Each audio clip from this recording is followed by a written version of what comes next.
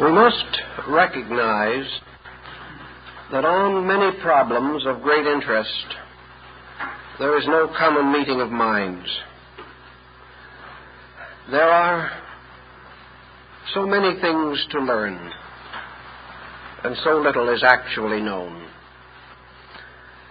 And yet, from very long ago, men really tried to be thoughtful. And perhaps it is a mistake on our part to assume that all the world's best thinking has been done in recent years. We have a tendency to believe that fact began with the development of a scientific method for the accumulation and evaluation knowledge.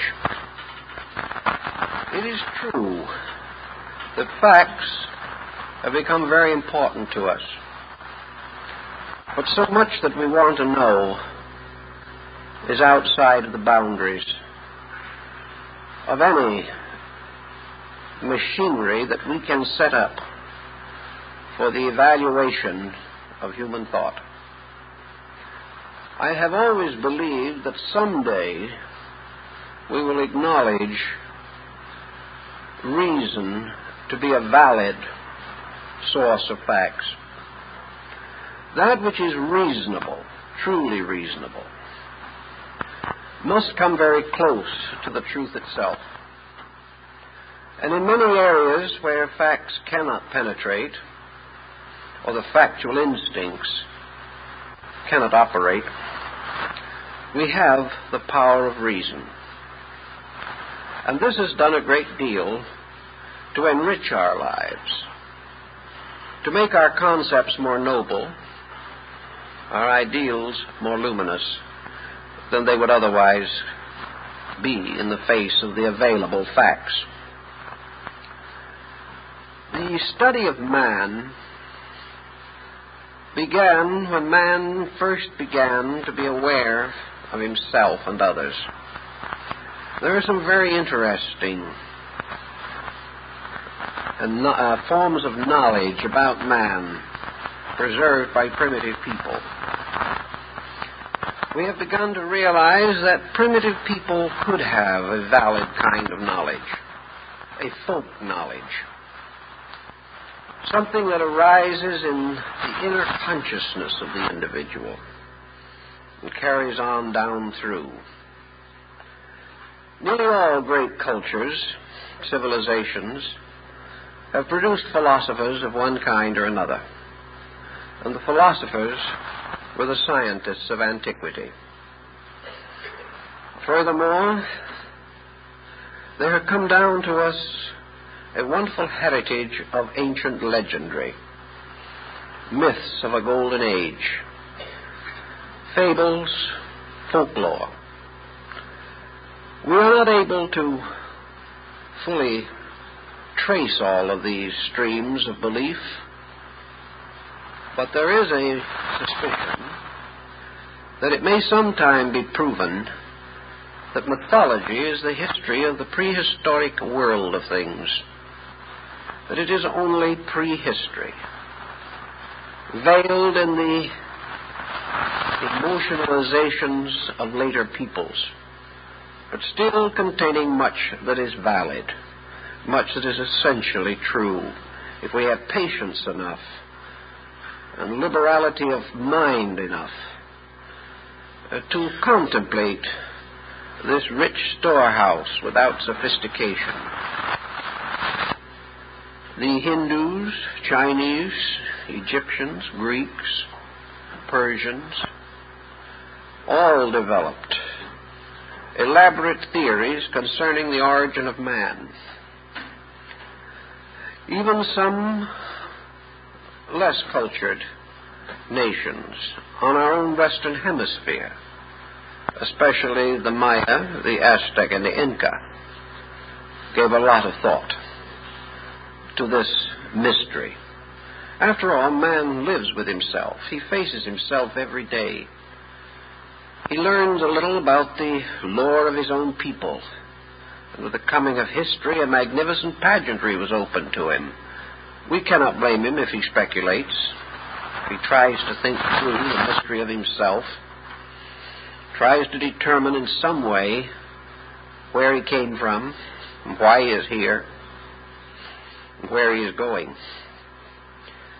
Nearly all of the older nations of the world assumed that man existed for a very long time. In India, for example, long before the rise of modern science, or the more recent discoveries relating to human remains, the Hindus were already thinking of an earth inhabited by something at least resembling man 20, 30, 50, 100 million years ago. They knew whatever this process was that produced man was not rapid. They realized also that the gradual evolutionary processes uh, which brought man into being were in a way recapitulated by the prenatal cycle in man's present coming into birth. Just as surely as the embryo passes through many stages of development, more or less summarizing the whole evolution of the animal kingdom, so it is evident that man himself came forth a very long time ago. That he was not instantaneously or wonderfully produced. There was not a case of a world without a man and then marvelously saying, man was there. He did not appear uh, with his girdle of fig leaves, as most often represented in masterpieces of the 15th and 16th centuries. Nor did man arise, as in most of old paintings, clean shaven and well groomed. There was something else to this picture. Man had to grow up. Most ancient peoples were convinced that man came out of water. They believed that he some way came out of an ocean or out of a great depth or deepness. We're beginning to suspect this ourselves, even now. But man, according to the most ancient tradition, was a fish that came forth upon the land. And gradually his gills disappeared, gradually his fins vanished, little by little, he assumed the proportions that we now know.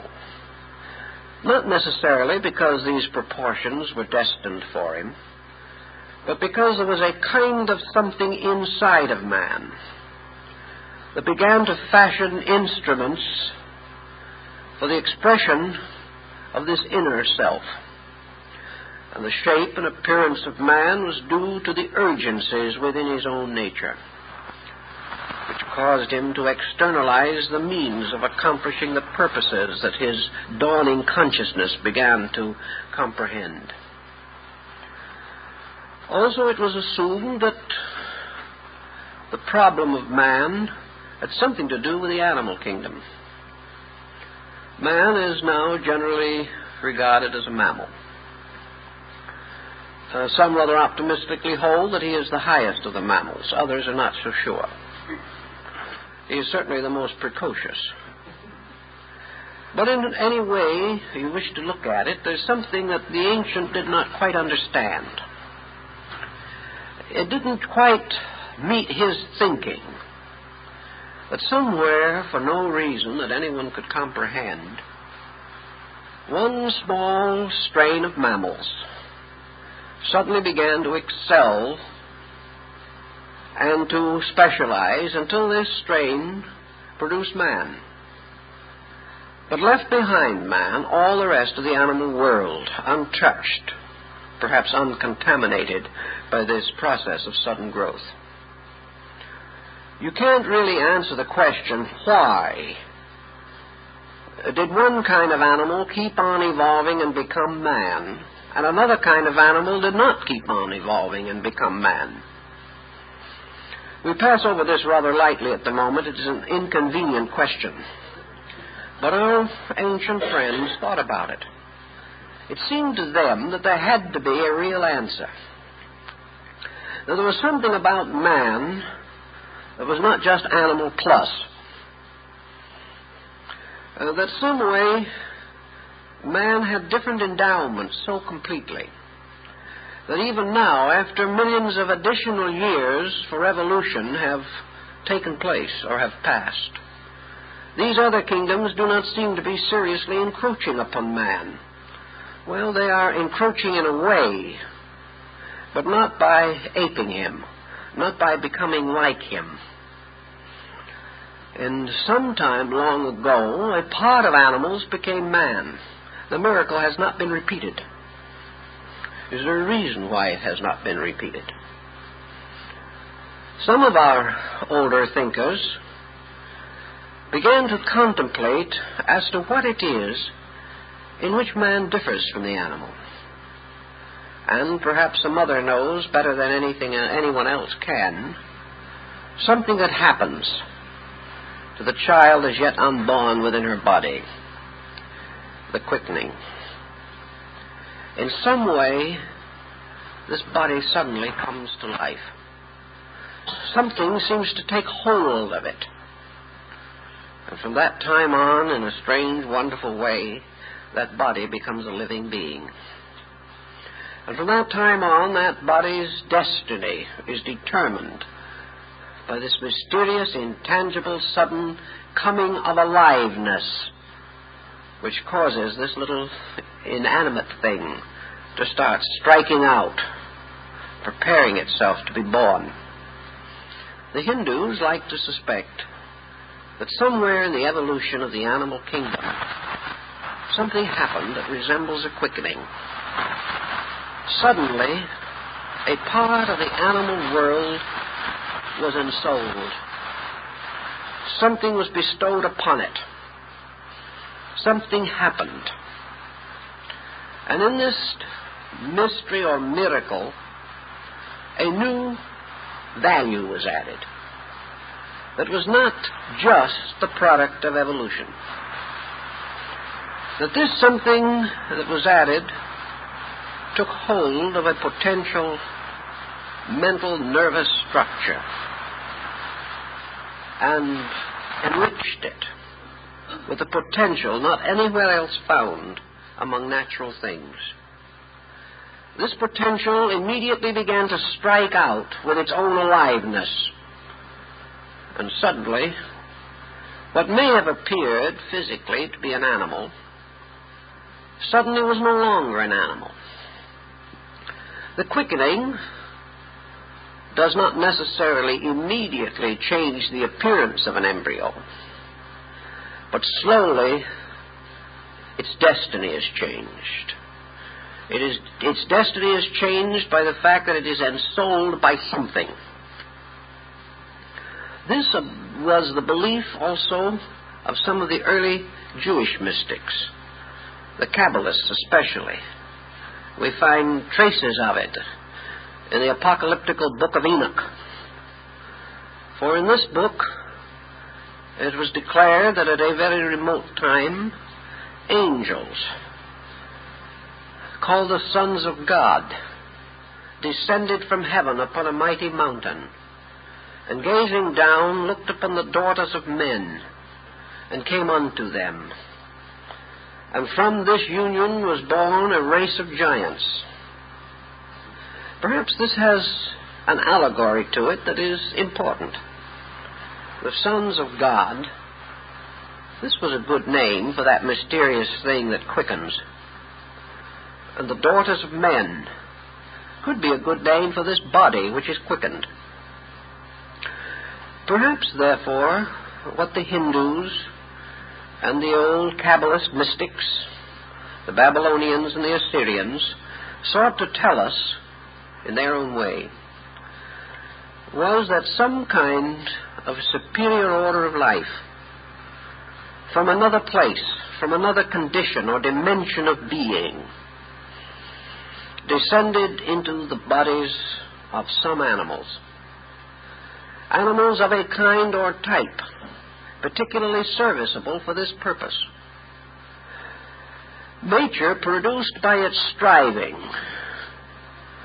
many kinds of animals. These are described so clearly in the Phoenician history of Sanchoniathon. These monsters of old days gradually vanished away into the void of things.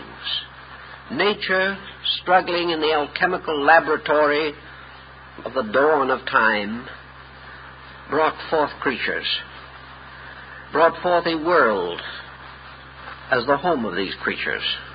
And here, long before the light of our reason was shed upon the world, these creatures blindly, dumbly, numbly stumbled through the mysteries of the prehistoric fen. Many of them vanished in the terrible upheavals of volcanic and seismic disturbances. Uncounted millions probably perished in the vast sweep of the glacial periods. But nature, ever trying to create an enduring type, gradually climax the animal evolution by a kind of animal that may have been not too different from an anthropoid. An animal which had gone as far as beast could go. We see around us today many forms of animals, birds, insects. They're not all alike. They're not all equal as possible potential vehicles for further growth. But there was some time, long ago, among all animals, the best of animals.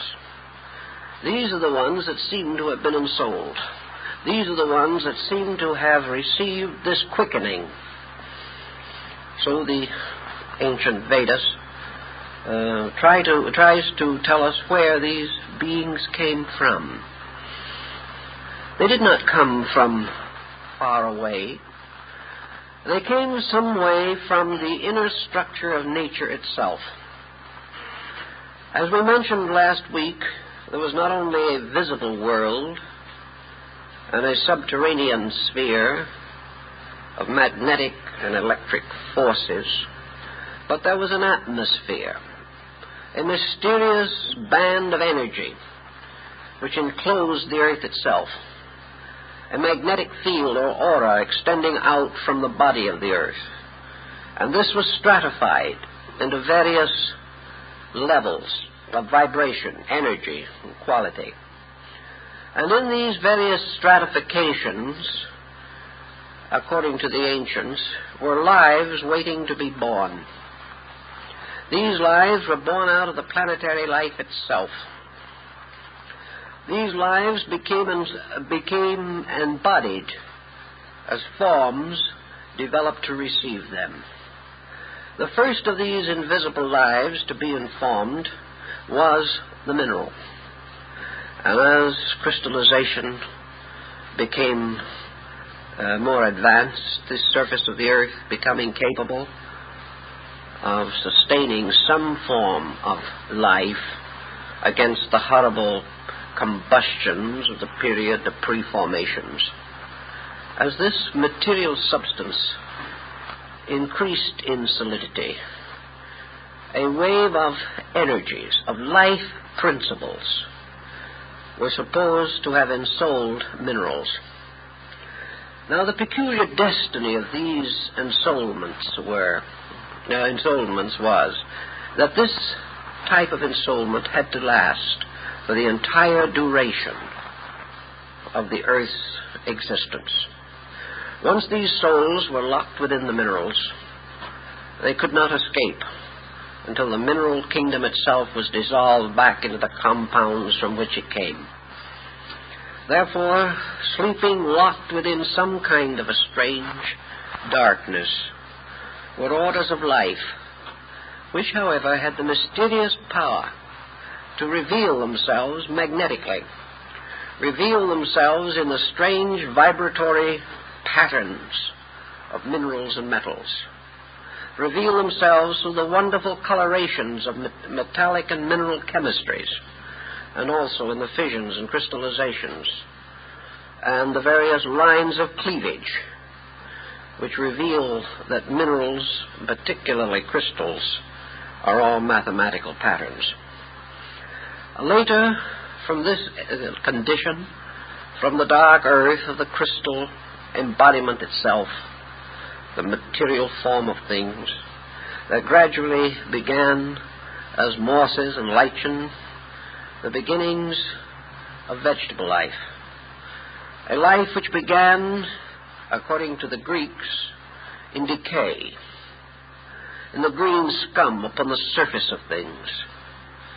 The Platonists believed that water received into itself free spores that floated in space, and that these free lives, captured and drawn within the magnetic field of the earth, fell into water, where a strange decomposition took place, a death. And out of this death and decay, life came.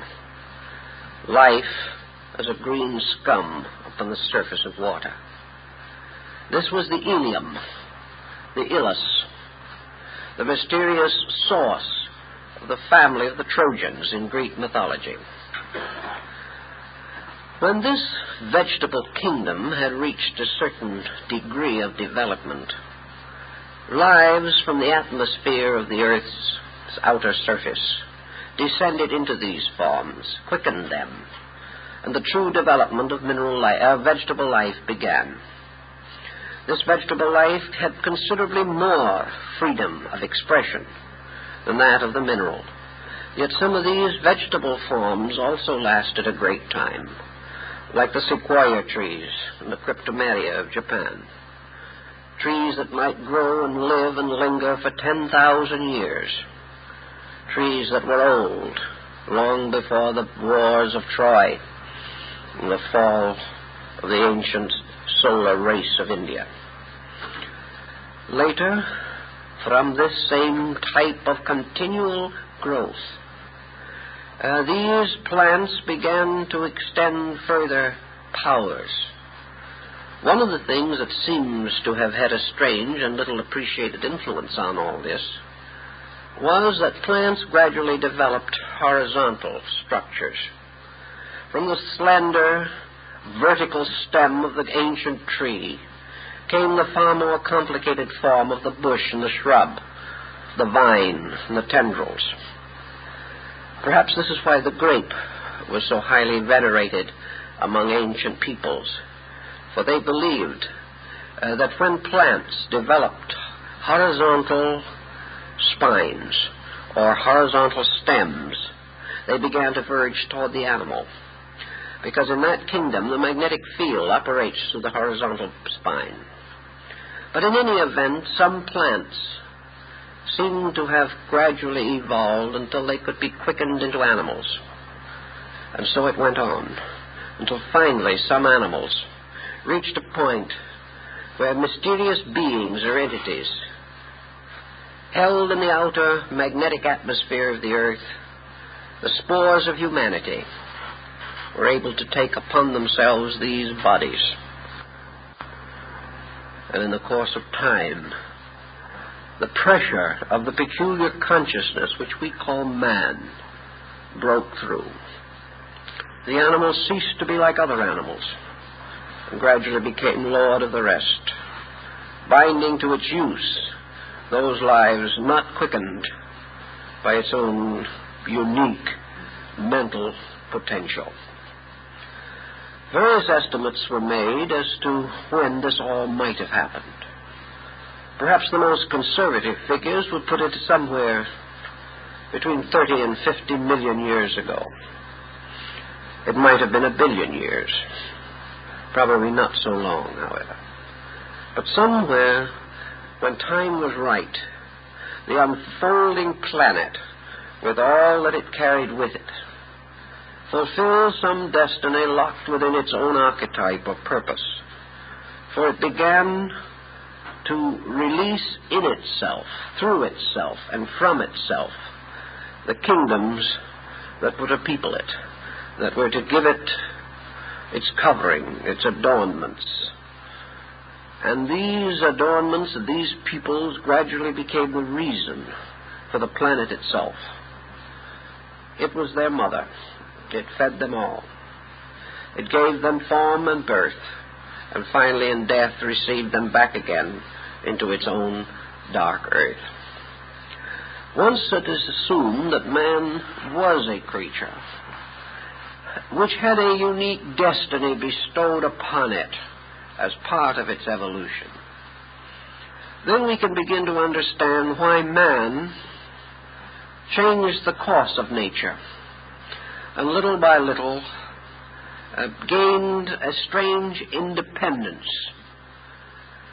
Man became the only animal that could really worry. Uh, there are tendencies now for animals to be neurotic, but it is assumed to be as a result of association with man, which is enough to make anything neurotic. But uh, man certainly is the only animal that knows that it must die. It is the only animal which has ambitions as we know them. It is the only animal that can pray and hope and argue. It is the only animal that can force its will upon a vast pattern of things by some premeditation, preconception of its own. It is the only animal that has ever been impelled to ravage the planet. This, however, is not the major purpose of human destiny.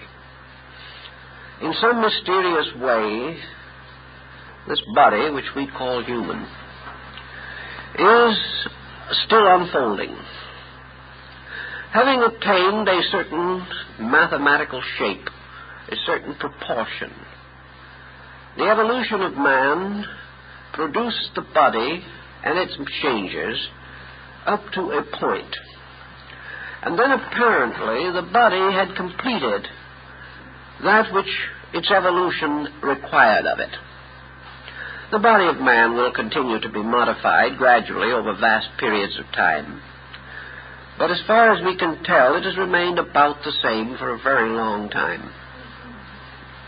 The body of man has not changed as rapidly in recent times and evolution has moved from the growth of the body to the growth of the person within the body. Unless the person grows, the evolution of the body is meaningless as far as man is concerned. For the body is now dedicated to the advancement of his purpose. If man needs more from the body, the body and time will provide it. If man demands faculties or powers which he does not at present possess, nature will meet this demand, and body will be modified to produce whatever is needed. But for some time it has appeared that man does not need to make any major renovation in his physical structure.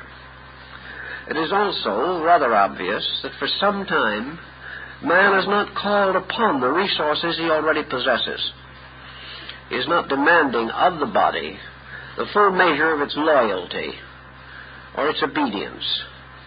He is simply acting as a, despot, requiring that the body sustain his follies, whatever they may be. For this reason, the body is punished, and its security and survival are endangered. If the person in the body fails the body, then ultimately this entire form will fall back into the chaos from which it came in some remote uh, period of the past. The person in the body, however, continues to grow. We observe historically a tremendous unfoldment of man. We notice the rise of arts and sciences, the increase of knowledge. We were also perceive in him the unfoldment of his aesthetic sensibilities, his ideals, his dreams, his imagination. Little by little, man has raised himself to the highest level of creativity which he is capable of conceiving. Not too high, perhaps, but the best he can do.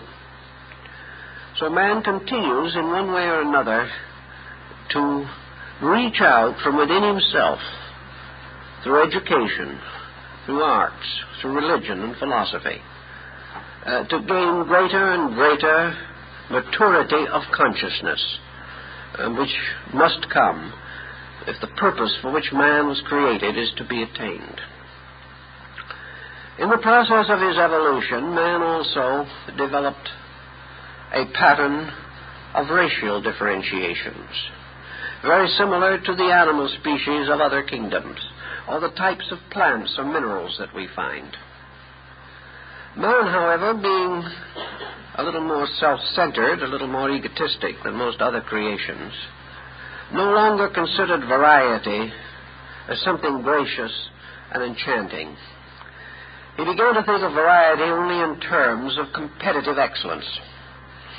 Therefore, instead of, un- of recognizing the unfolding of humanity as a magnificent mystery of life, he began to stigmatize the various kinds of his own type. He began to talk about advanced races and backward races. He created a vast conflict in races, uh, simply because he did not realize that racial differentiation in the human kingdom is like the differentiation in, of birds or of flowers or of the bright minerals in the earth.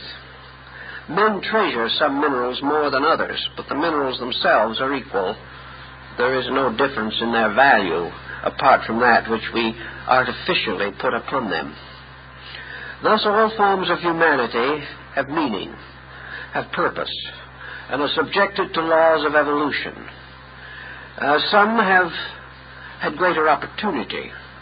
Some have been more fortunate in climatic environment, which has a very big bearing upon growth. But all humanity is one living thing, under one archetype. And this archetype is bringing humanity gradually into a maturity of purpose suitable to its destiny. But we are not too sure just where we are in this unfolding cycle of things. But the Oriental peoples, especially the Chinese and the Hindus, consider that humanity has passed the halfway mark in its development.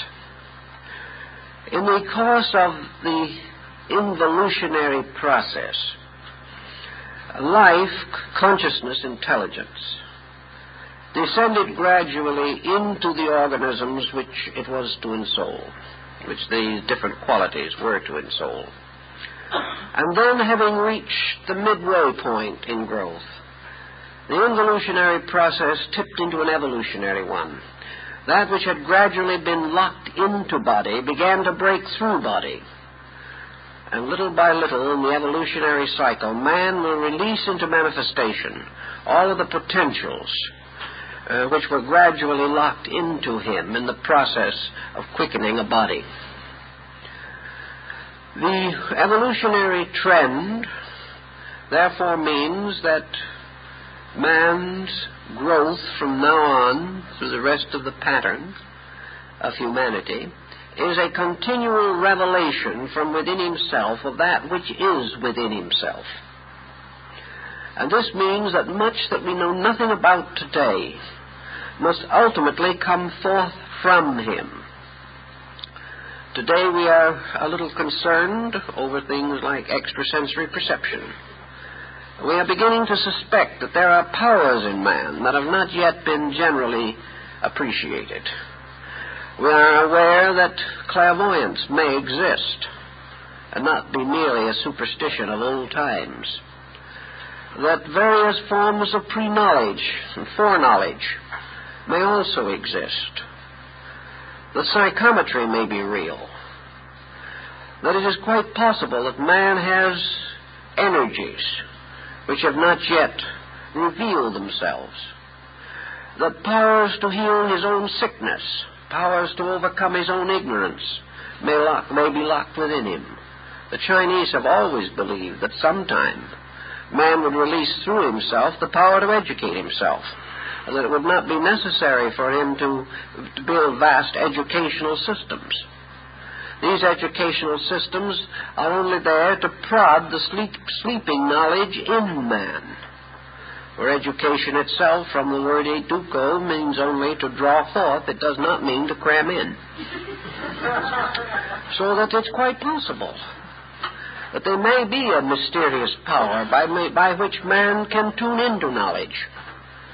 Just as today he is able to twist the dials on a television or a radio and achieve a miracle that his ancestors would have regarded as not the work of God, but the work of the devil with fair cause. In any event, man has more in him than has ever come out. And the process of bringing it out and getting it out is associated with the situation of living. And here we can begin to think in terms uh, of some of the other Eastern moral philosophies concerning man. Buddhism has quite a lot to say about this because after all, its peculiar province was man and the internal structure of his own psychic nature.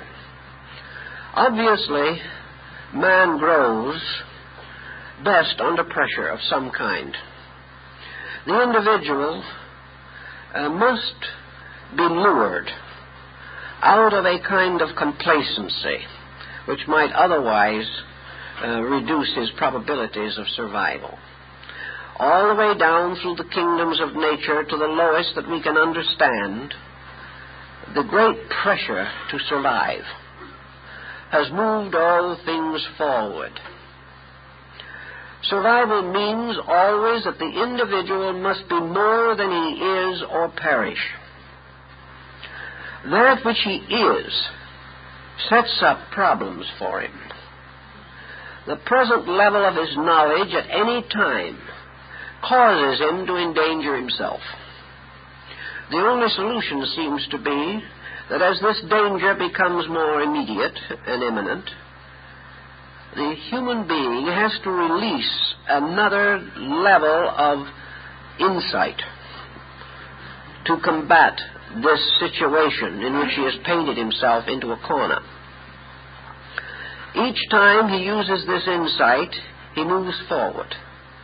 Then he rests for a little while and uses his new level of insight to get himself into a further difficulty.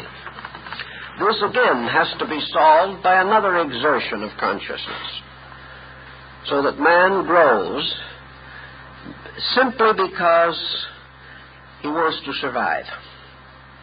He has never grown really from the sheer joy of the prospect. He has never become wise, become wise so much from the fact that he loved wisdom as that he was tired of misery. And out of wisdom he hoped to find a remedy for misery. Thus, something prods us, has prodded us from the beginning, and has forbidden us any security since man was man. At a very early time, when he hardly knew enough to survive, he had already sufficient skill to tie a stone to an axe handle and hit his brother over the head with it. From the oldest days, he was in conflict with his own kind. Ambitions and jealousies began to develop within him.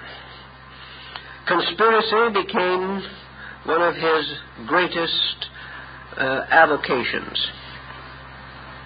He was resolved to conquer the earth as soon as he knew that there was an earth. So little by little he has complicated his destiny. He has created systems and destroyed them. He has built cities and torn them down. He has made laws and broken them. He has persecuted others and been persecuted in turn. He has become more dangerous with the passing of every year until now his own dangerousness really frightens him almost out of his wits. Man goes on, forever trying to find the answer. so, what we call suffering, or what Buddhism calls suffering, is the natural and inevitable consequence of man living contrary to a reasonable code.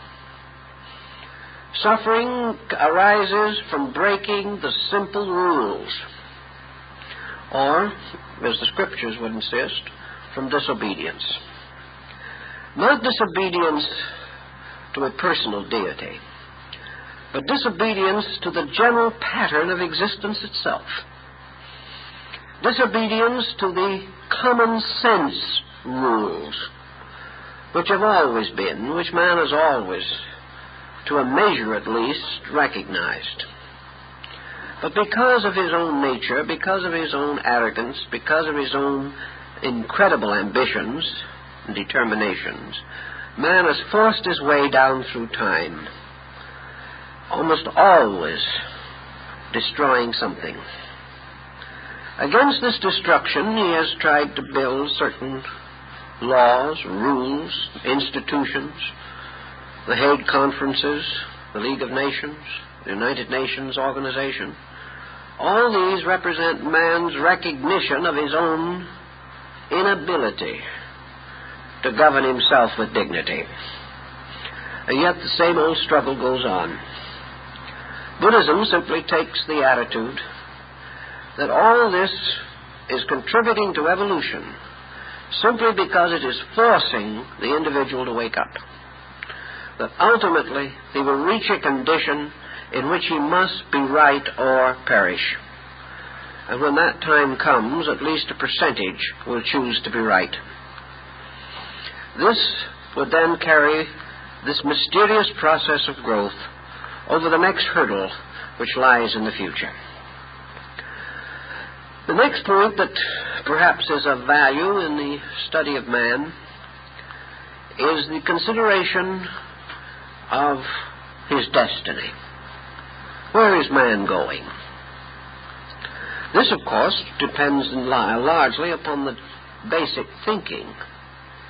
If you're an existentialist, man isn't going very far. If you are a humanist, he may not make it even as far as the existentialist. If you're a Christian humanist, you have a slight confusion in your mind, but you have greater hopes. Actually, where a man is going depends very largely upon trying to decide in your own mind whether anything is going anywhere. If you want to assume when you look out of a window that there is nothing there except accident, incident, circumstance. Conditions that have no rational foundation in anything. That the universe simply exists. And it does not know why itself and never will discover. That there was nothing that fashioned it, it has always been, or if it hasn't always been, it arose by some spontaneous process within itself. For a long time, science had the delightful hypothesis that the universe is the only machine in the world that could manufacture itself in the first place. This was considered scientific. We rather doubt that at the moment. We also have to say, is man going anywhere? Is there any relationship between modern man and ancient man? Are the Greeks and the Romans gone forever? If so, what good were the Greeks and Romans?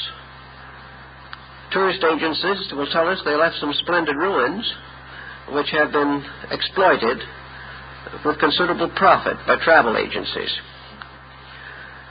But what of the experience of the Greeks and Romans? Do we know really anything about it? Did they ever leave any adequate histories? Uh, did they ever tell the truth about themselves, and did anyone else ever tell the truth about them? We do not know. We know that in some mysterious way the mistakes of the Greeks and Romans linger on.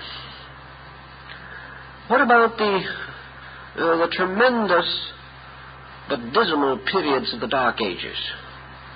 Here man went through some of the most extraordinary examples of self delusion that have ever been recorded.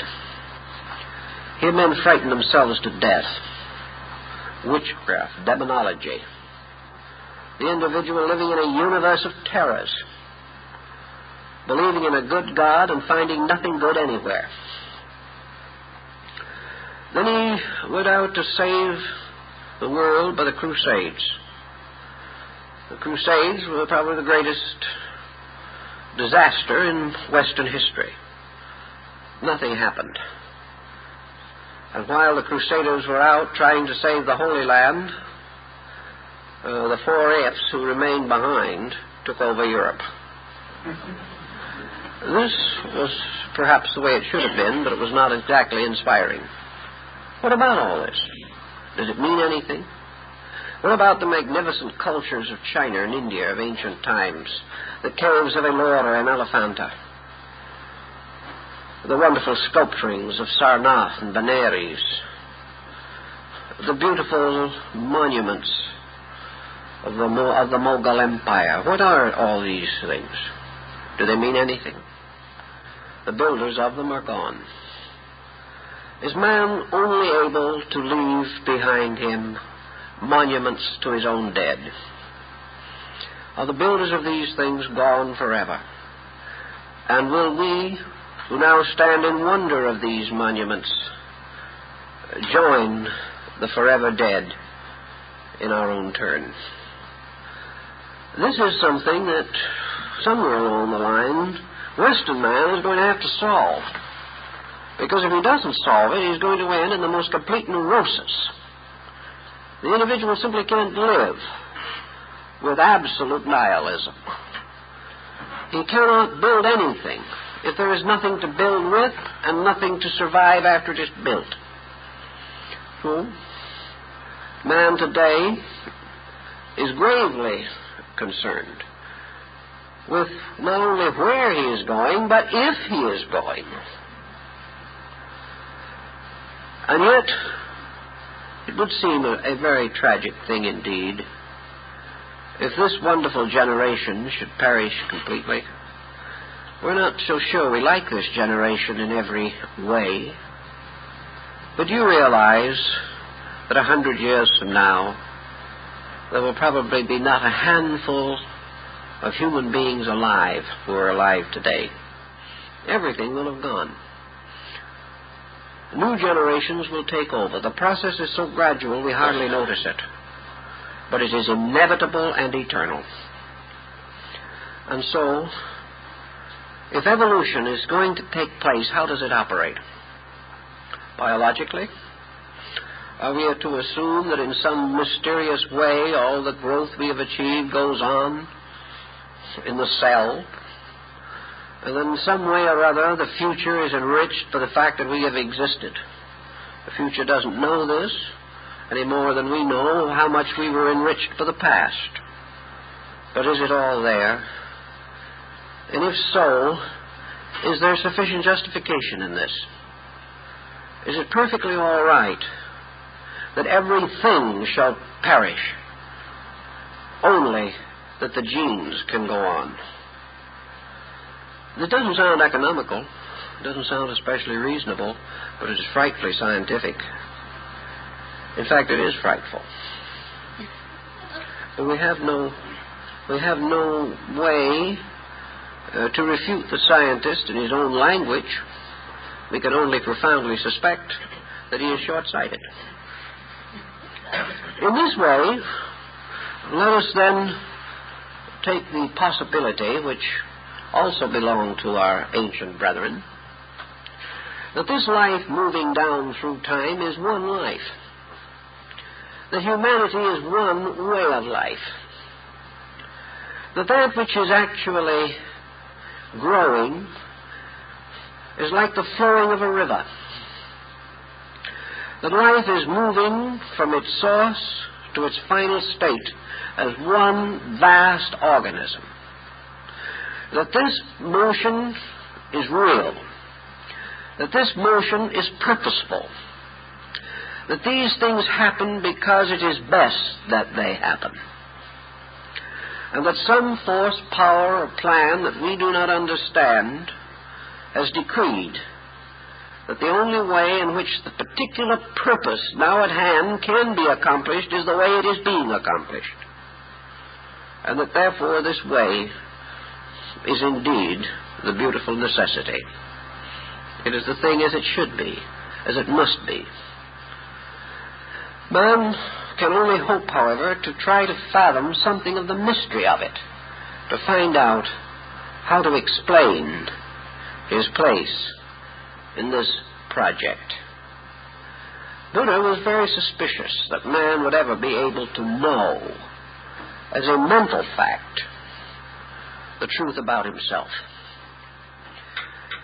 Buddha realized that the mind is the slayer of the real, that the mind locks us in attitudes, but that this is strange but true, that the mind is a blind man that thinks it can see.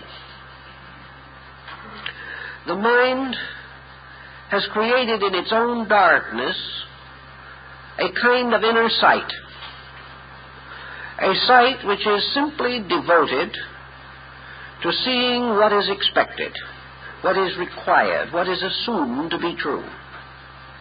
The mind is locked within the kind of a pattern that produces college professors, intelligentsia, and historians generally and produces the endless perpetuation of policies that are defended long after their vitality is exhausted.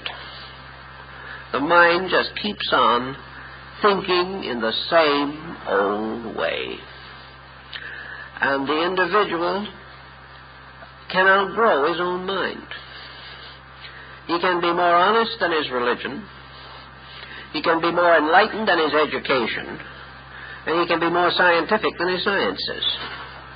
Because these are heavy things, moving slowly, but man moves more rapidly and anticipates in himself the courses which institutions will follow in ages to come.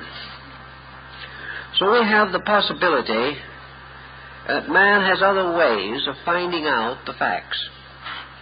If man wants to know about himself in the Buddhist philosophy, the only answer is to disentangle his mind from its attachments to all the preconceptions, restrictions, and limitations imposed by tradition and the common observation of things around him. This does not mean that the individual is to allow his mind to wander about like an, an unbroken colt in a pasture. But it does take the ground that the deepest part of human knowledge, that part of the individual which can come nearest to knowing, is something very silent, uh, very abstract within the core of man's own being. The only way the individual can hope to know is through inner experience. The only solution lies in an unconditioned intuition. Not an intuition that is waiting to see a certain thing. Not an intuition that decides beforehand what it is going to discover. Not an intuition that is going to censor its own processes by conventional rules not an intuition that would be afraid of idealism or afraid of realism, but an intuition receptive to whatever is actually there.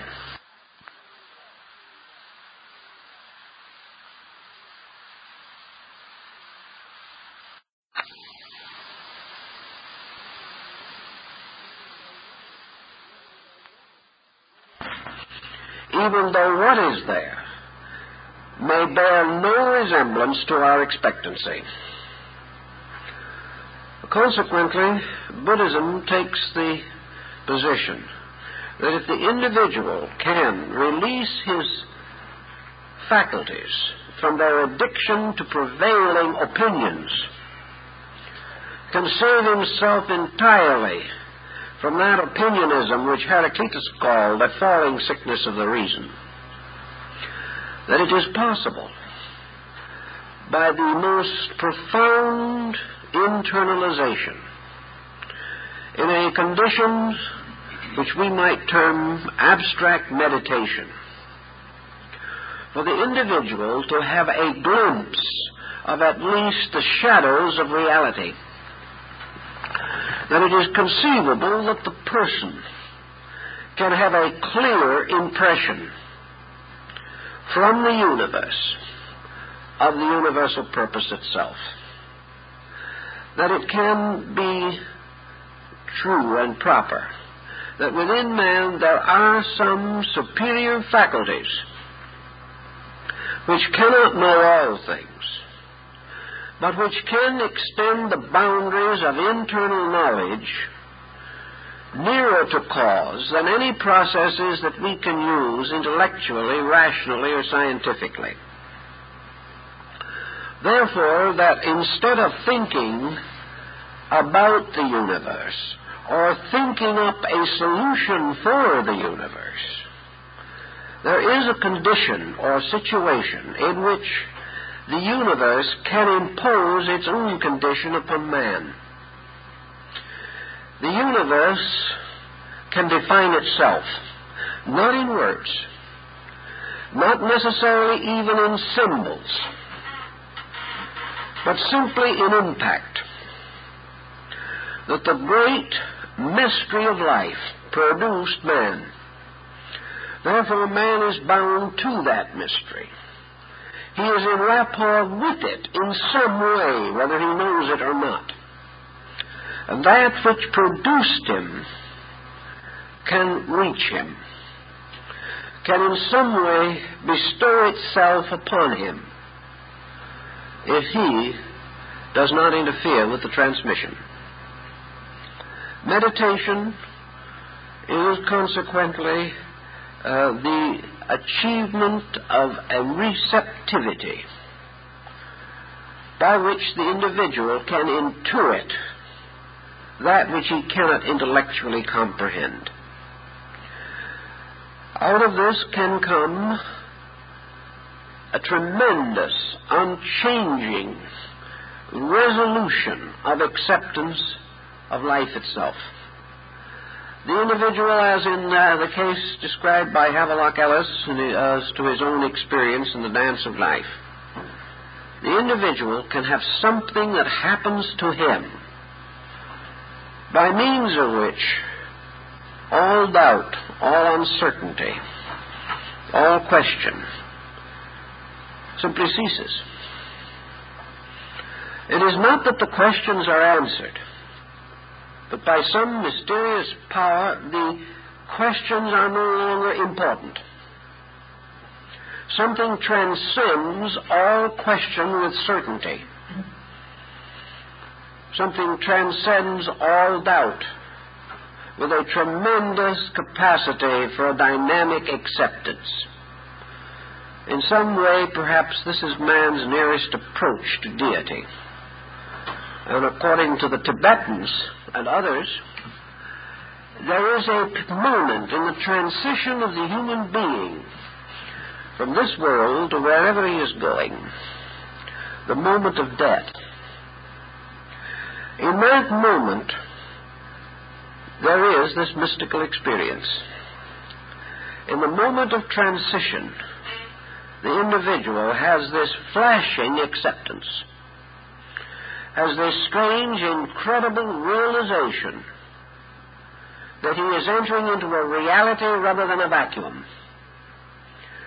That somewhere where he is going and how he is going to get there is these are no longer important there is a tremendous sense of a complete rightness, a tremendous, overwhelming sense of security, which seems to come only uh, when man has reached the final end of his insecurity in this world. This is perhaps why the Buddhists insist that the nirvanic experience at the end of the evolutionary process of man, the achievement of the transcendent consciousness, in which the individual is no longer conditioned, uh, the condition itself being suspended or transfigured by something else. that in the moment of this nirvana, and in this moment only, uh, the Buddha achieving enlightenment becomes fully aware of the measure of enlightenment. Again, perhaps, not knowing the answers to all the questions, but reaching a state in which there is no longer any inclination to ask the questions, because a supreme fitness, a supreme sufficiency moves in upon the individual and quiets forever all of his doubts regarding providence. Some way, this is supposed to be the end of all human evolution. That man shall come into an accord with truth. Not that man shall possess it, but more correctly, possibly, truth shall possess man. Evolution is the releasing of these faculties, perceptions, and means, by means of which the individual can escape legitimately from the mysterious cycles of embodiment in which he is at this time so completely imprisoned. Paracelsus von Hohenheim, the great Swiss physician and mystic, then began to study the body of man rather attentively. It is astonishing that a people, for the most part, prohibiting dissection, and therefore with very little scientific knowledge of the internal workings of the human body, should have accomplished so much in scientific uh, research as far as anatomy and physiology is, are concerned as the Grecians. It is astonishing that they gained so much. The clinics of Hippocrates of Kos were clinics of observation. Uh, they were based upon a kind of intuitive study of man. And the Asclepiads of Greece uh, de- developed an intuitive theory of diagnosis and treatment. We know this. We also realize that to them this was the proper function of the priest physician. The uh, priests of the healing God use this internal intuition, cultivated by prayer, by disciplines and meditations, perhaps mostly by consecration to the needs of the sick. This intuition became their guide to the treatment of disease. And in spite of how we may feel about it, they did astonishingly well. So did the Chinese. Uh, the Yellow Emperor's Book of Medicine is a very learned work. Learned because it is a book on anatomy and physiology developed by rationalization alone and without practically any clinical or dissectional knowledge. It might be termed an empiric system. It was simply achieved by imposing the universe upon man and assuming that man was a miniature of the world and treating him in this way, so that all methods of treatment were based upon astronomy and sidereal motion. That actually sickness and health were cosmic mysteries related to the sun and moon and to the motions of the stars.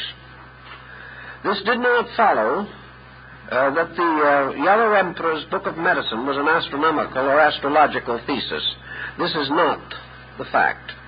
The fact is, however, that it did recognize that the human being was a little universe, and that therefore all the principles that men could study in nature were applicable to man.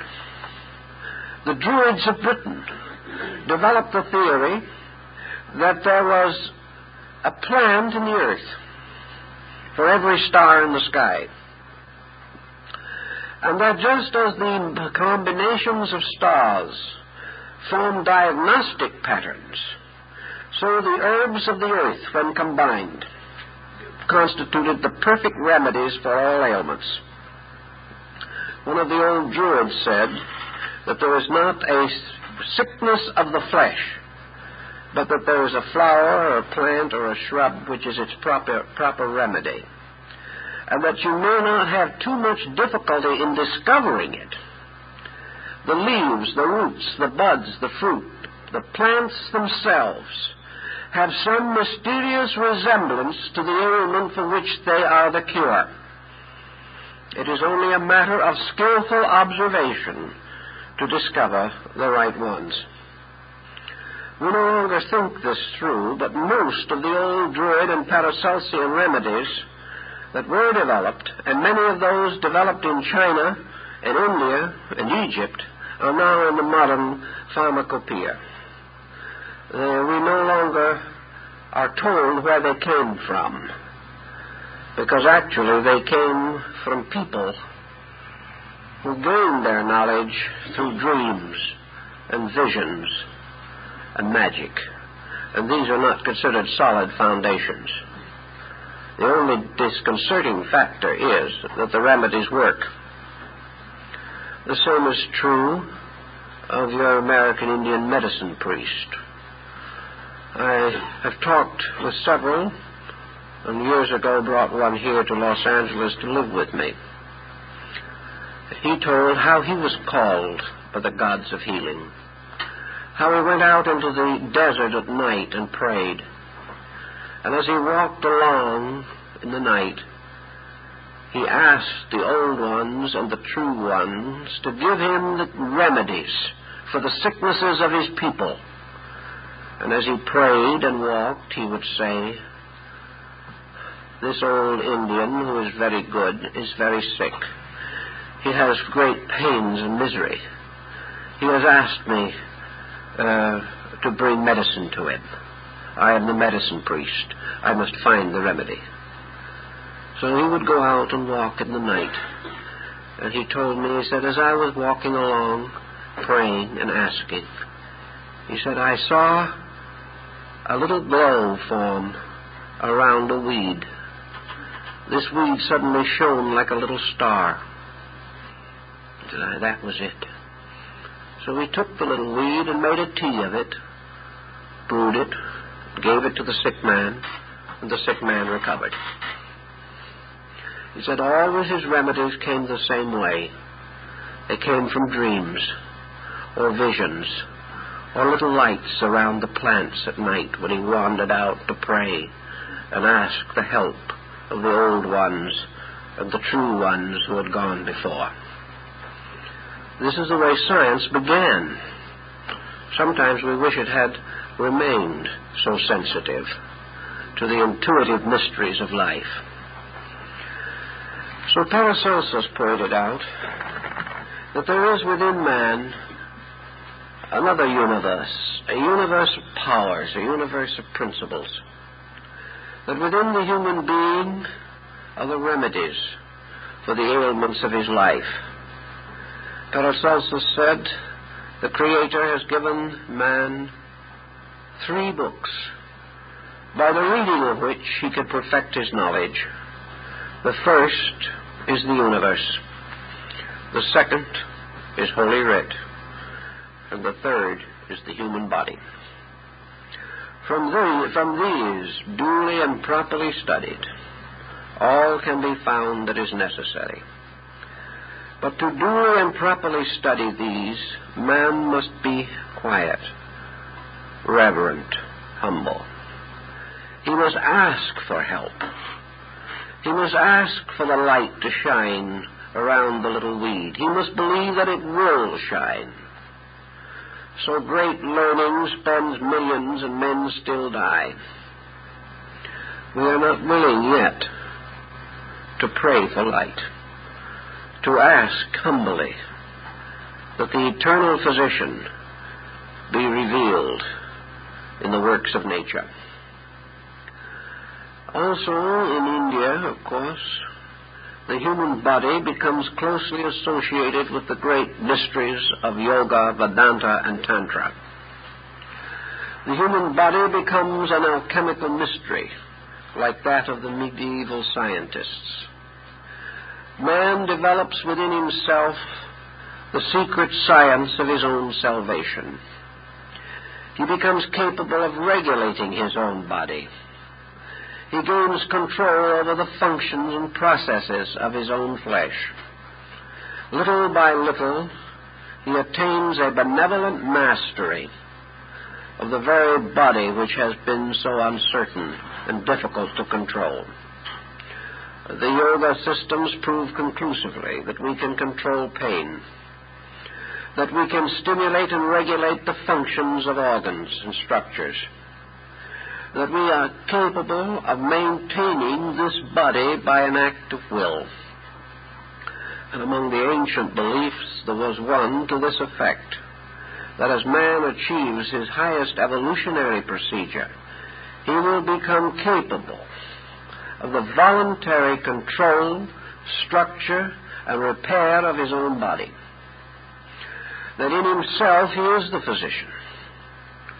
And that in evolution, this power to heal himself will come out of him just as the power to instruct himself arises in his own nature. In the Shingon Shu, the tantric sect of Japanese Buddhists, Dainichi Nyorai, seated in the center of a lotus of eight scarlet petals, represents the eternal Noah in the human heart. Truth, wisdom, God, reality. These are thrown within the heart of man. And man can reach them. Man can call upon himself for all that he needs and all that is necessary.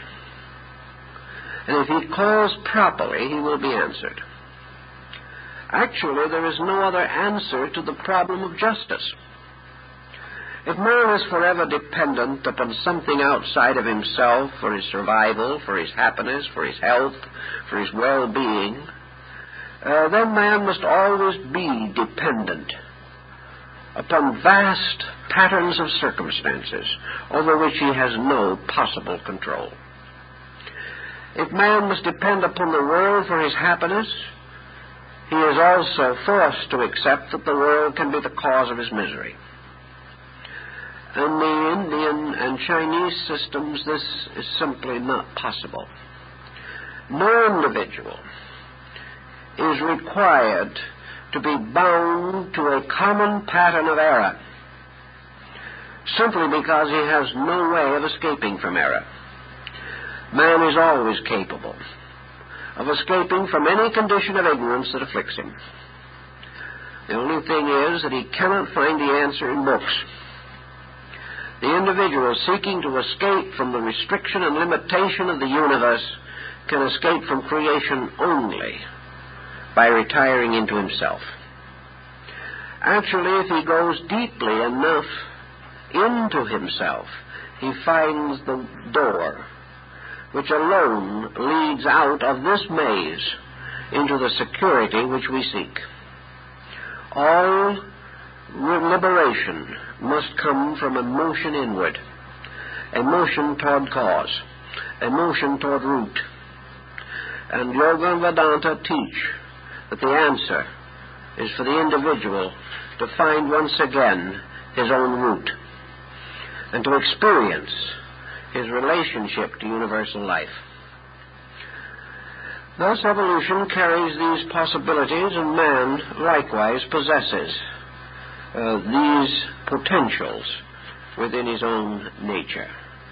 Sometime he must evolve structures, instruments capable of sustaining this new degree of insight which will come to him. The uh, Hindus believe that there will be two more kinds of human beings. Uh, these two more kinds will represent in a sense, two more races. Races beyond any that we know. The first two races of the earth, the race of the sun and moon, have vanished away. The others that we see around us belong to a pattern near enough to our own kind uh, so that we recognize fraternity. What lies into the future?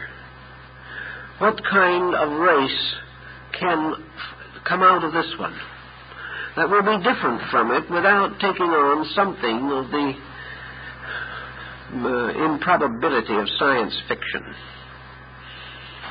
The ancients were of the assumption that the next race would be obvious because the flesh of it, the substance of it, would be growing more and more attenuated.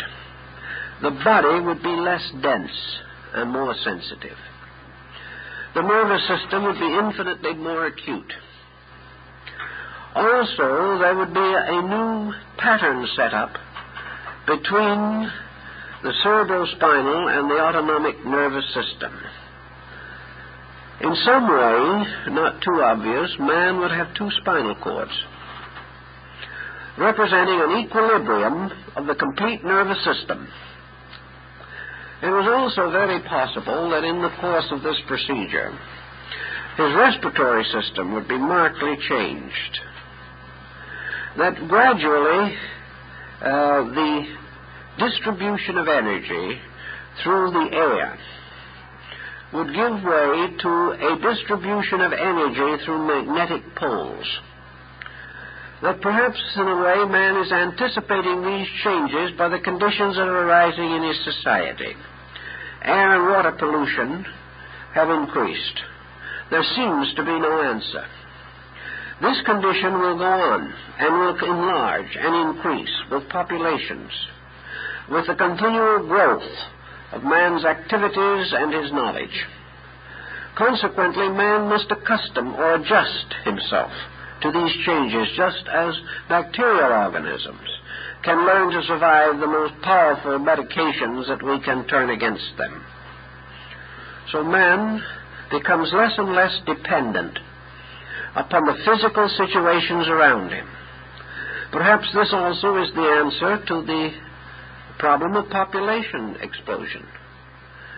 If the individual is no longer dependent for his nutrition or for a livelihood upon a balance of population, then the number of persons who exist within reason may not be nearly so important.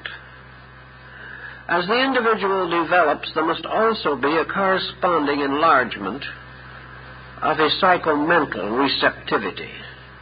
All evolution leading to refinements, leading to attenuations and sensitivities, must be motions toward a greater insight into reality.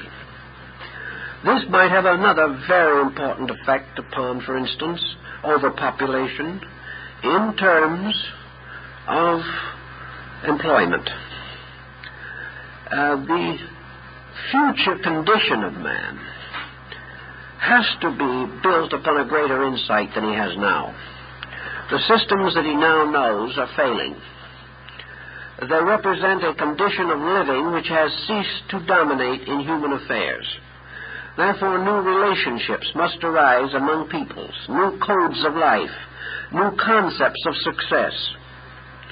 And if, for example, for some reason, man should outgrow his peculiar fatal attachment to wealth, if he no longer would consider possession as status, it would not be long, perhaps, before his entire human society could be greatly altered.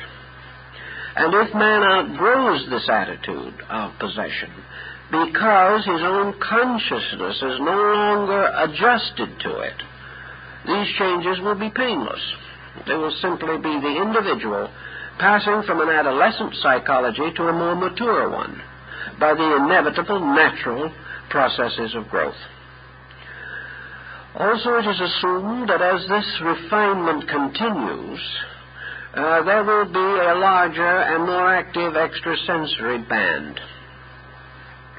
That the individual will gradually uh, standardize uh, what might be termed extrasensory perception. uh, that uh, what we like to think of now as thought transference or clairvoyance may be a standard faculty. Not much more remarkable to the man of that day than sight is to us today. If such is the case, you can immediately realize the tremendous effect this will have upon the social and environmental life of man.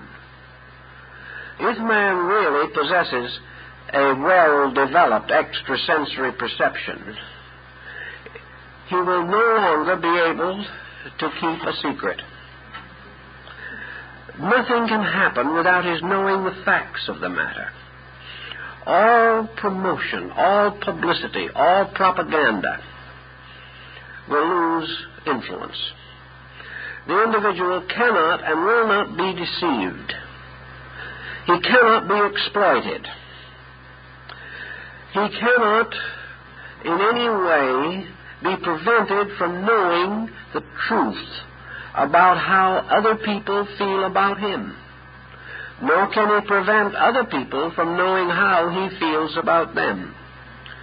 It might be a very astonishing thing if such frankness was thrust upon us. And yet, we can see how the extension of a single sensory perception could completely overwhelm the whole pattern of modern society, forcing it into an entirely different direction. If these all add together to produce what might be termed the sixth root race man, then we perceive an individual in terms of our present capacities, is extraordinarily learned. Uh, perhaps the best way that we can parallel this is in the Buddhist concept of the Arhat, or in the Hindu concept of the Mahatma.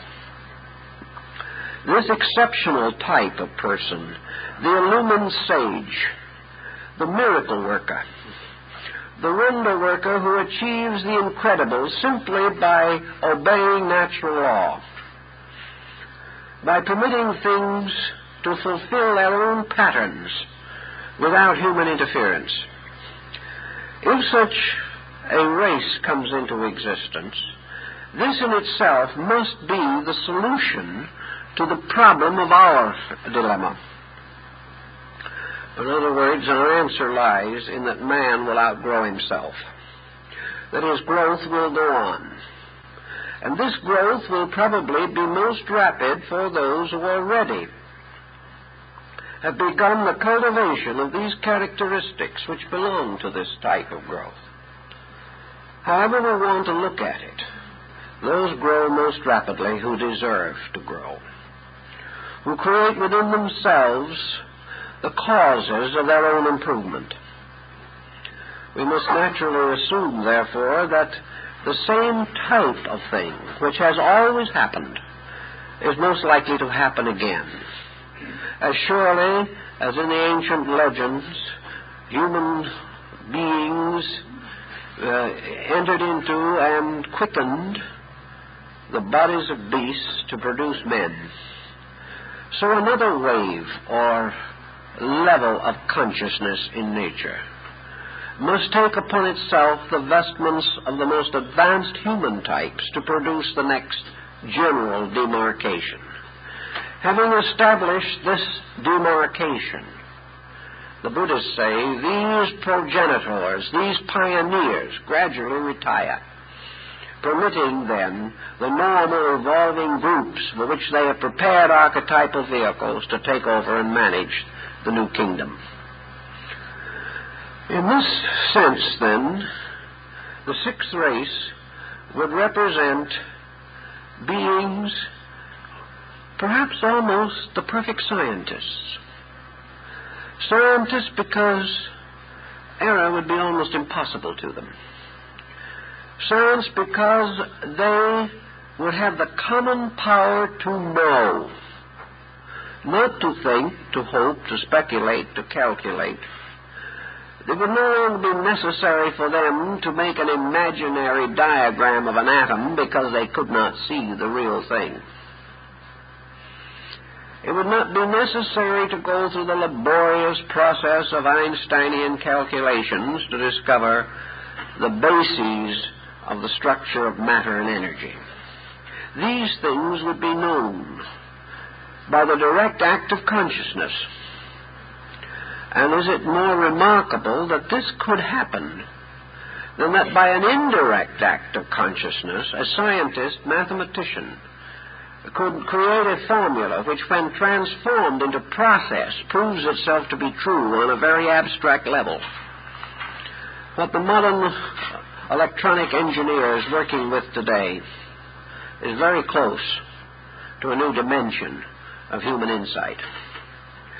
But this new dimension has to have one other thing which is as yet deficient, and that is humanity. The gentle dedication of consciousness to the service of good. For without this transformation of vibratory core of man, the next step will not happen. Man can never be given a great step forward until and unless he is capable of using it wisely. So we must have to wait until man grows not only smarter, but better. For betterness is the key to insight. It is by improvement that man conquers himself. By skill he conquers other things, but remaining unconquered himself arrives at his own destruction. The next point then would be to consider the seventh, that which lies beyond the sixth great uh, racial demarcation. In this we have, as always in the Hindu septenaries upon which our present thinking is based, we always have the seventh as a kind of suspension. In the scriptures it is said that on the seventh day the Lord rested. If we slur the word Lord and make it law, on the seventh day the law rests the law is suspended. The seventh day is consummation, culmination. The seventh step of Buddhism is nirvana, which is the complete suspension of everything. The seventh day of creation is absolute rest. Uh, this absolute rest, therefore, means in man the end of that which is not rest, namely restlessness. The seventh represents the final, complete coordination of all the elements and instruments of the human f- fabric. Uh, it is the actual culmination of unification. It is yoga, absolute union. It means that in this state there can be no longer any dissimilarity, inharmony, or conflict in the structure of man. There can be nothing working contrary to the rest. There can be no polarized opinion. There can no longer be any Aristotelian dichotomies. The individual, his consciousness and everything, transcends polarization or duality of any kind. It is then that being and not being cease, and reality alone remains. The nearest we can gain to the seventh state is that uh, of the conception uh, that the, the Tendai uh, Buddhists have of the nature of the Buddha Vairocana. Vairocana is, in a sense, the seventh race consciousness. It is uh, actually the complete suspension of every faculty, force, or power that in any way reflects limitation. It is the utterly unlimited. And the only thing that can be unlimited is that which no longer limits itself and therefore moves into total identity with reality. I think perhaps the uh, old Hindus came as near to the concept as anything uh, that we can imagine. Namely, the gradual retirement of man from objectivity. He will still have a body, but his body will be strangely attenuated, Uh, like, like that of the genie of the Chinese Taoist tradition. The body will be incidental to the person. He may use it if he wishes. If he does not wish it or does not need it, he does not have to use it. He gradually retires into a kind of luminous meditation in which the world around him is transformed also into the luminous manifestation of the divine power that creates it. When a being, luminous in all its parts, abides in a place which this being experiences inwardly as also all luminous, all light, all mystery, all glory then we have probably the ground upon which the concept of paradise was devised, or the Edenic garden.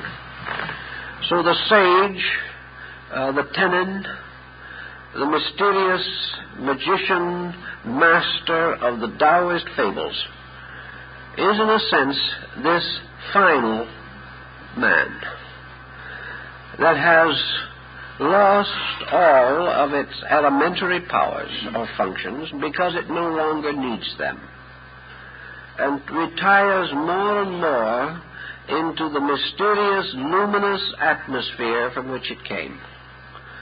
Perhaps ultimately, at the end of the race, the end of humanity, man dying out like sparks in space. Not because man dies, but from this perspective, man dies. The sparks return to the flame. And that which we have experienced or known as humanity ceases.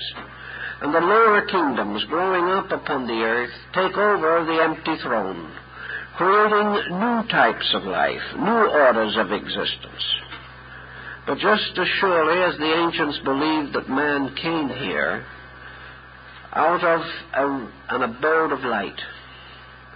Came here, however, like a prodigal son, descending into embodiment for experience, descending as a sleeping soul into birth. Uh, so truly in the end, fully awake, fully understanding the mystery of the life cycle through which it has passed and the reason for that cycle the transcendent being returns again to the luminous sphere from which it came. Evolution goes on here. Perhaps someone with only a physical perspective would hardly notice the difference. The old forms go on, but new lives are moving through them. It is exactly as though we stood and watched a city day after day. In a hundred years, the streets would still be filled but not one of the people would be the same. So in the world, the stream goes on. But who knows what strange chemistry takes place behind the masks of matter, the masks by which men think they recognize each other. But these masks are only a persona. And behind the mask is a face that may change we never notice the change because the mask does not reveal it. So all through nature, orders of life are changing, but we do not know this because they move through the forms which have been fashioned for their housing. The ancients likewise tried to consider how far man could go. What, after all, is man as we know him. He is a body, he is a consciousness, he is a being, he is something with a spark of life in his heart. Where is he going? How can we really guess where he is going? We know he came from less, and we know that he goes to more. But how much less did he come from, and how much more does he go to? In Hinduism and Buddhism,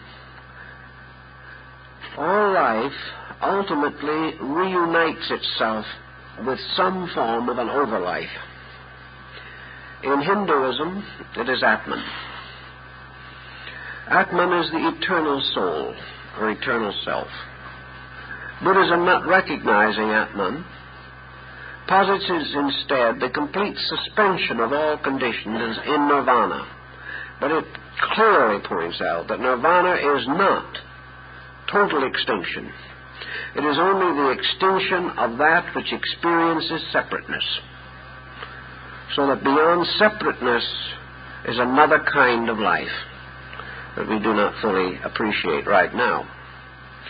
But the Atman, or the final over self, whether it be union in consciousness with the Buddha, whether it means the ultimate attainment of Buddhahood itself, which the Buddhist tradition affirms, or the Hindu Atman, or reunion with God, or oneness with the infinite. The concept is that what we call evolution has an over pattern, a pattern larger than anything that we can appreciate. That these separate sparks which make all forms of life, from the tiny gnat floating in the sunbeam, from the electron and the atom, uh, from all the kingdoms of nature, and even into the mysterious divine hierarchs described in the visions of saints. All these sparks of life were cast from a single fire. One tremendous consciousness called Atman. This consciousness, in the form of Vishnu, floating upon the coils of the seven coiled serpent of eternity on the ocean of space, represents strangely the total nature of life. At some time in the Hindu mythology, uh, this total life, this Brahman, this eternal Vishnu, this Lord Shiva, entered into the illusion of creation, becoming the great mendicant, adorning itself with ashes, wearing clay and sackcloth, the symbol of embodiment. And this one spiritual flame broke up into an infinite diversity of sparks.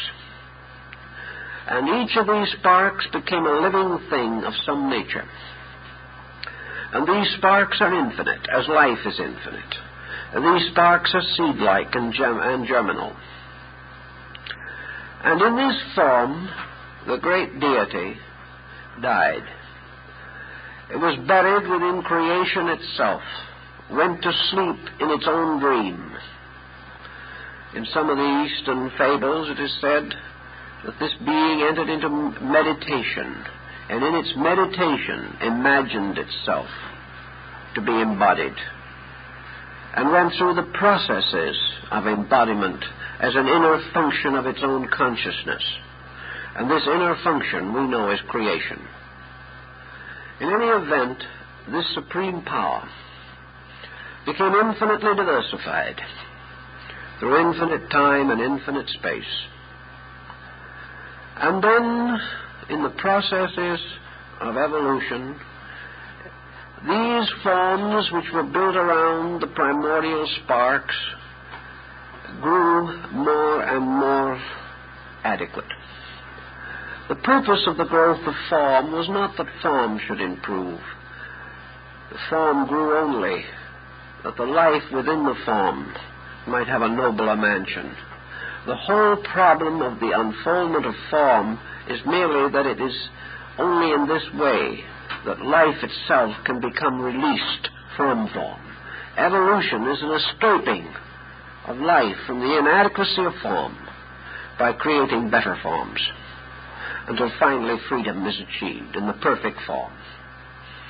When this freedom is achieved, the sparks do not simply go out into space and be, become dissipated. They do not fade away because they were never mortal. These sparks reunite gradually assembling themselves into this mysterious abstract form which was their original. They move like a cloud of fireflies, back again to reassemble into the nature, consciousness of being and being of Atman. And when the last of these little sparks has been freed from matter, Atman awakes from its sleep. At that moment, Atman is free, is free. The God which created the world by entering into it and sustaining it with his own existence has been liberated. The evolution of man is the resurrection of God. Now, this is a daring thought, particularly coming from thousands of years ago but it has influenced the philosophies and theologies of all peoples. It seems to give at least one somewhat adequate concept of what things might be like and why they are as they are. Actually, man is forever trying uh, to justify the universe to which he belongs. Some say this is superstition that the only thing the individual wants to do is to have something to lean on. That unless he evolves a theology or a psychology or a philosophy that has vast dimensions and proportions, he is afraid. He is afraid of being alone in the darkness of his own ignorance. This is, I think, a rather sophisticated point of view. A lot of it has gained momentum in the disillusionments following two world wars. But the fact still actually remains. The disillusionment solves nothing. It brings no real answer. Disillusionment does not tell us why we're here. Usually, disillusionment ends by taking away from us even the concept of the machinery that is necessary in order for us to be here at all. We cannot afford to take too much away because if we do, there is no one left to be disillusioned. We know, therefore, that there is a process operating. That the misfortunes, infirmities, and inconsistencies of life are actually the greatest proofs of natural law that there are. Rather than discounting natural law, they demonstrate it. And that there has to be some reason. We can have any reason you want, but it would be hard to imagine a more transcendent reason, a more splendid vision, than to realize that existence is an embodiment of universal life. That existence is alive because an infinite life inhabits it that just as man's mind and consciousness have molded his body into its present proportions and dimensions, so infinite life has molded in space the infinite structure of the cosmos as being the least form capable of manifesting the cosmic purpose. This cosmic purpose, however, is not merely to remain glistening forever in the firmament. This cosmic purpose is not that suns shall go on circling forever around still greater cosmic centers. There has to be more than this infinite continuance of machinery. The time cycles are so vast that man cannot understand them. Any more than a tiny gnat in a sunbeam can ever understand the time cycles of man. Yet these cycles exist. And existence is always an, an infinite pattern of life becoming embodied, passing through the processes of embodiment, and finally passing out of embodiment. And carrying with it, in this great procession, a parade, a processional of stars, of lives, of, of infinite sparks belonging to itself. And each of these sparks an individualization of itself. Now, when these sparks return to form itself again, and the Atman awakens from his mystic trance, what then? Is this the end of things? Is this the termination? The Hindus and the ancients did not believe in terminations. They believed in an infinite life, an infinite growth. They did not hold that it was possible for man to conceive of termination. All he could conceive of was things returning to their own natures and apparently ceasing in these natures. But then the composite nature into which they were, re- they were returned, blossoming out again after the seven nights of the pralaya or infinite sleep. So life goes on, evolving, unfolding. But every experience that occurs in life has meaning. By our experience, we add to the waking of the sleeping Brahman. By the Brahman's experience in coming back to waking from its own sleeping, it adds wisdom to something beyond itself. Life goes on. Life is the infinite manifestation of growth. Now, men thought this way long before they were disillusioned. Perhaps they were right. Perhaps disillusionment is something that has simply numb their senses uh, to a splendid vision that we all need. At least I think by the greatness of our vision, we gain a certain inspiration for the immediate regulation of conduct.